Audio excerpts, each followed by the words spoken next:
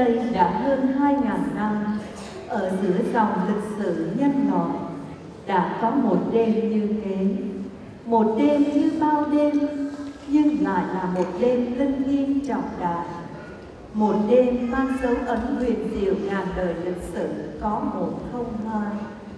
Đó chính là đêm mà nhân loại không ngần ngại gọi là đêm thánh vô cùng đêm của trời đất giao duyên đêm của tình yêu sao ước bởi lẽ đó, chính là đêm mà từ nơi cung lòng thiên chúa cha, ngôi hai thiên chúa lên đường đi vào lịch sử nhân loại.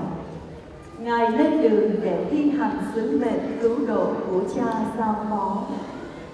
Đêm đông chúa bỏ ngôi trời, liều thân sinh xuống làm người trần gian. Vì yêu nên Chúa nặng rơm khô một mắng giá sương một trời. Đêm nay ca đoàn dũng lạc xin dâng lời ca tiếng hát để ngợi ca tình trời sáng thế